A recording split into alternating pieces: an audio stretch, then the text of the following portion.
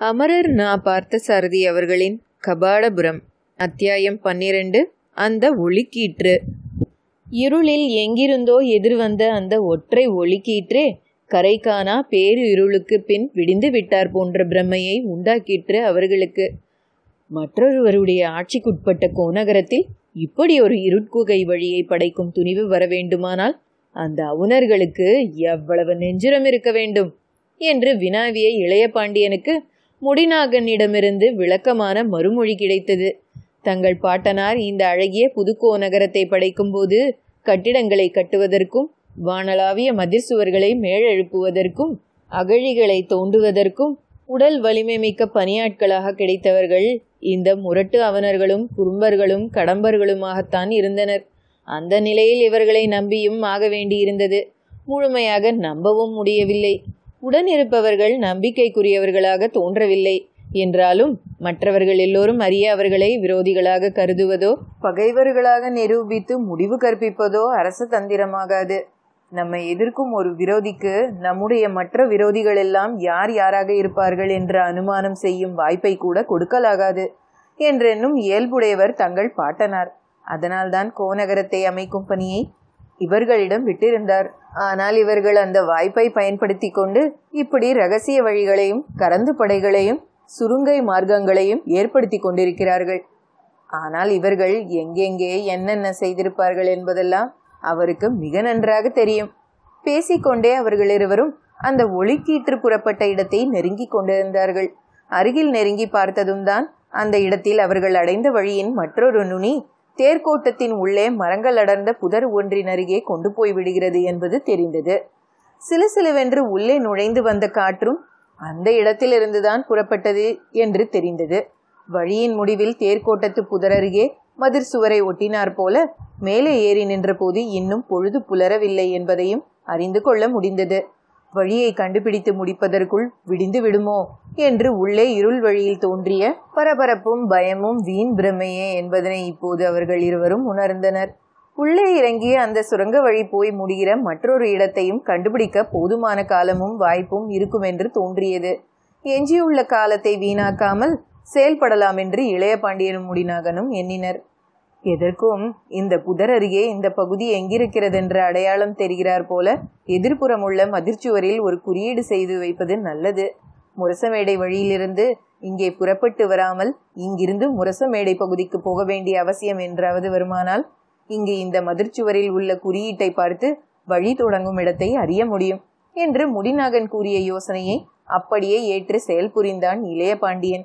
அந்த புதருக்கு நேர் எதிரே மதிர்ச்சுவரில் வழி இங்கே விளங்கும் என்பதை மிகவும் குறிப்பாக உணர்ந்து கொள்வதற்கு ஏற்ற முறையில் விளக்கு போல உரு தோன்ற கோடுகள் கீறி வைத்தான்.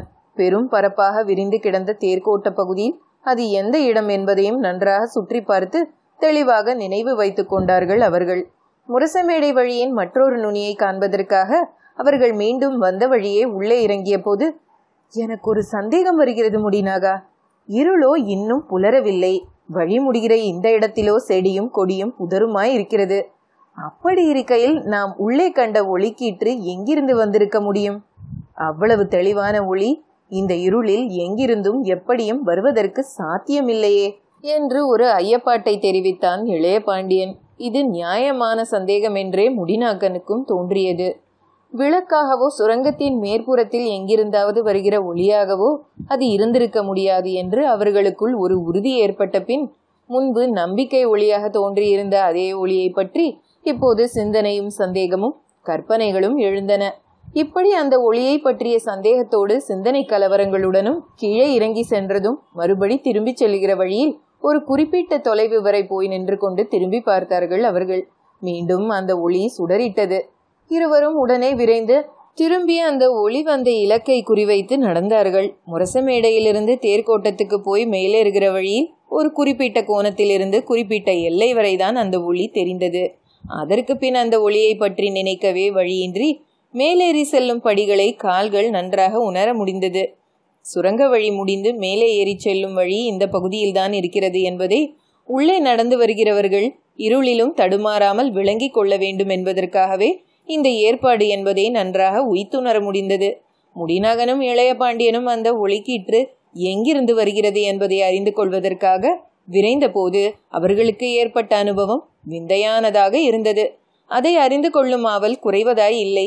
இதோ அருகில் நெருங்கி விட்டோம் இன்னும் நொடி பொழுதில் அந்த ஒளியை பற்றிய உண்மை நமக்கு விளங்கிவிடும் என்று நினைத்த கணத்திற்கு அடுத்த கணமே அந்த ஒளி கண்ணுக்கு தெரியாமல் மறைந்தோ திசை தப்பியோ போய்க் கொண்டிருந்தது. நீண்ட நேர தடுமாற்றத்திற்கு பின் மிக எளிமையான அந்த உண்மையை முடிநாகன் தான் கண்டுபிடித்தான்.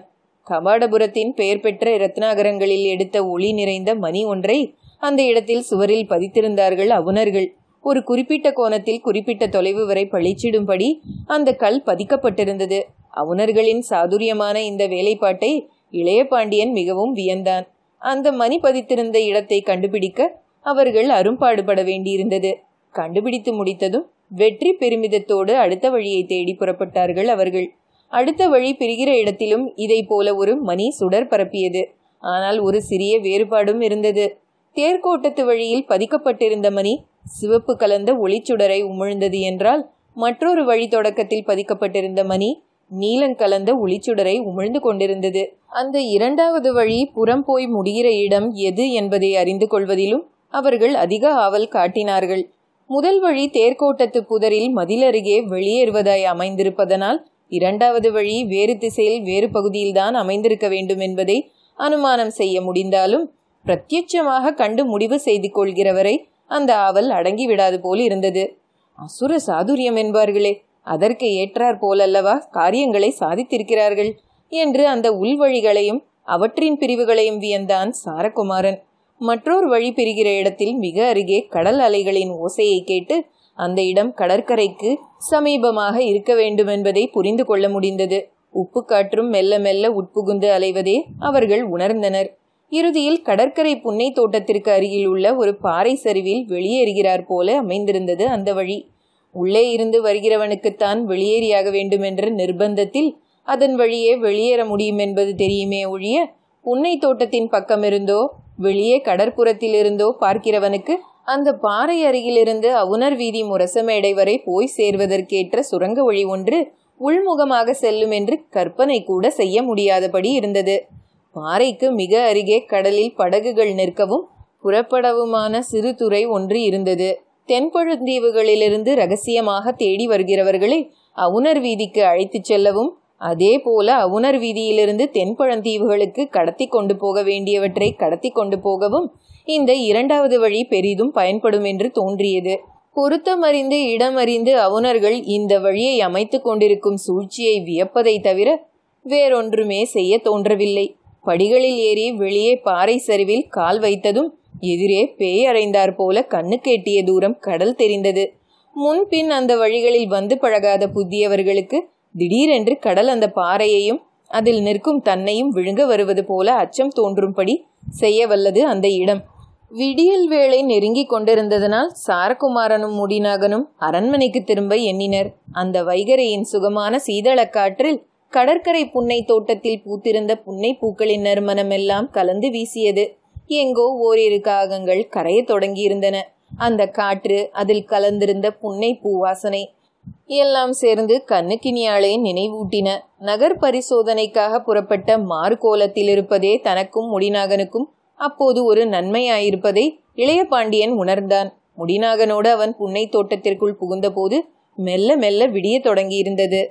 அத்தியாயம் பன்னிரண்டு. அந்த ஒளிக்கீற்று நிறைவுற்றது.